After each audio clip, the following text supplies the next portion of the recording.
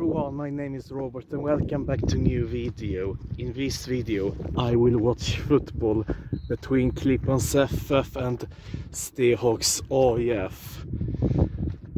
Yeah, it's the first home match that I will watch this season. It's going to be fun in this video. I hope that Klippan will win, so yeah, let's have some fun.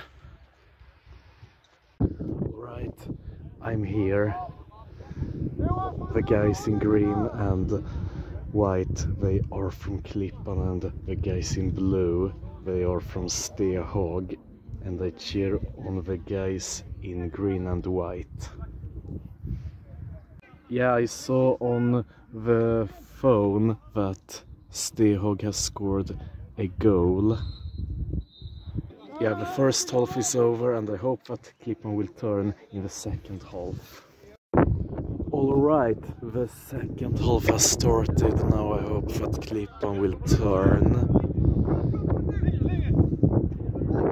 Alright, it has begun to rain a little bit right now. Yeah, a yellow card for Klippan, that means a free kick for Stehag. Guys from Klippan, they have begun the season not really good.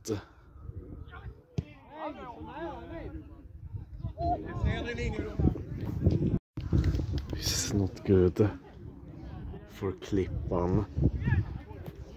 Stehag is leading with 0-2. Yeah guys, Klippan will not win this match either. They lost the first match when they were in Lund and met Linero. Now they will lose at home. Yes, Stehag has come from Division 5 and I can't believe that Klippan will lose against one of the newest teams, little bit weaker. Well, the match is over, Klippan lost. Yeah, a team from a lower division is often weaker when they are in a higher division. Yeah, I saw another club meeting Stehag, a club from Helsingborg, H-A-I-S. Alright, I'm back at home. Yeah, it didn't go very well for Klippan. I hope the guys from Klippan will win the next time. But anyway, like, comment and share this video. Subscribe to my channel and check out some other videos of this channel.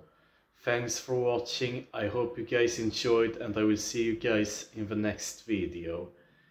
Goodbye and thumbs up.